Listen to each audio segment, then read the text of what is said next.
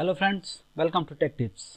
As you know, YouTube has rolling out its new material design and if you want to go to old YouTube interface then you are at right place. In this video I am going to show you how you can go to old YouTube interface. So click here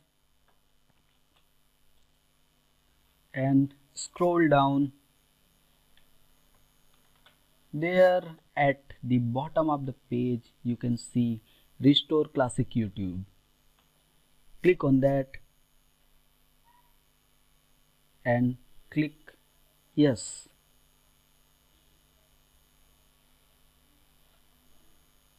Then either you can send some feedback or you can just cancel it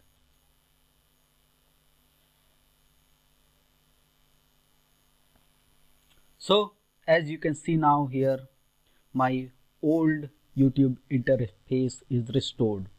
So friends if you like this video please like share or subscribe. Thank you. Keep watching